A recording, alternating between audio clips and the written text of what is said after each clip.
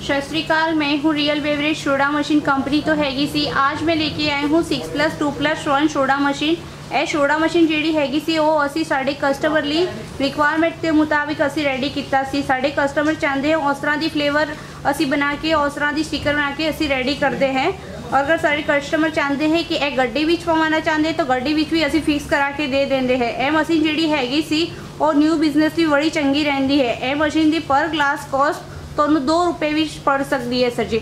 ਇਹ ਮਸ਼ੀਨ ਦੀ ਪਰ ਗਲਾਸ 2 ਰੁਪਏ ਦੀ ਹੈਗੀ ਸੀ। ਤੁਸੀਂ ਕਸਟਮਰ ਨੂੰ ਆਰਾਮ ਨਾਲ 10 ਰੁਪਏ ਵਿੱਚ ਦੇ ਸਕਦੇ ਹੋ। ਇਹ ਮਸ਼ੀਨ ਜਿਹੜੀ ਵੀ ਹੈਗੀ ਸੀ, ਉਹ ਪੰਜਾਬ ਵਿੱਚ ਅਸੀਂ ਸੰਗਰੂਰ ਵਿੱਚ ਦਿੱਤੀ ਹੈ।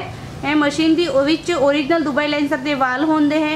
ਇਹ ਮਸ਼ੀਨ ਦੇ ਵਿੱਚ ਉਹਨਾਂ ਦੀ ਬੋਡੀ ਦੀ ਜੋ ਗਾਰੰਟੀ ਹੈਗੀ ਹੈ, ਉਹ 2 ਸਾਲ ਦੀ ਰਹਿੰਦੀ ਹੈ। ਉਹਦੇ ਵਿੱਚ 5 ਸਾਲ ਦੀ ਪੰਪ ਦੀ ਵਾਰੰਟੀ ਰਹਤੀ ਹੈ। ਫੁੱਲੀ ਸਟੇਨਲੈਸ ਸਟੀਲ ਦੀ ਮਸ਼ੀਨ ਆਂਦੀ ਹੈ। ਚਾਰੋਂ ਔਰ ਤੋਂ ਕਵਰ ਆਂਦੀ ਹੈ। ਇਹ ਜਿਹੜੀ ਮਸ਼ੀਨ ਹੈਗੀ ਸੀ ਉਹ ਉਹਦੇ ਵਿੱਚ ਕੋਈ ਜ਼ਿਆਦਾ ਜਗ੍ਹਾ ਰੱਖਣੇ ਦੀ ਜ਼ਰੂਰਤ ਨਹੀਂ ਹੈਗੀ, ਉਹ 4x3 ਦੇ ਵਿੱਚ ਆ ਜਾਂਦੀ ਹੈ ਆਰਾਮ ਨਾਲ।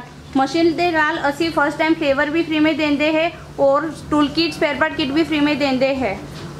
ਮਸ਼ੀਨ ਦਾ ਇੰਸਟਾਲੇਸ਼ਨ ਔਰ ਟ੍ਰਾਂਸਪੋਰਟੇਸ਼ਨ ਦਾ ਜਿਹੜਾ ਵੀ ਖਰਚਾ ਹੁੰਦਾ ਹੈ, ਉਹ ਸਾਡੀ ਕੰਪਨੀ ਕੀ ਔਰ ਸੇ ਰਹਿੰਦਾ ਹੈ। ਸਾਡੇ ਕੰਪਨੀ ਕੀ ਔਰ ਸੇ ਇੰਜੀਨੀਅਰ ਸਰ ਵੀ ਆਉਂਦੇ ਤੁਹਾਨੂੰ ਚੰਗੀ ਤਰ੍ਹਾਂ ਮਸ਼ੀਨ ਦੇ ਬਾਰੇ ਵਿੱਚ ਸਮਝਾਤੇ ਹੈ ਔਰ ਚੰਗੀ ਤਰ੍ਹਾਂ ਤੁਹਾਨੂੰ ਆਪਰੇਟ ਕਰਨਾ ਵੀ ਸਿਖਾਉਂਦੇ ਹੈ।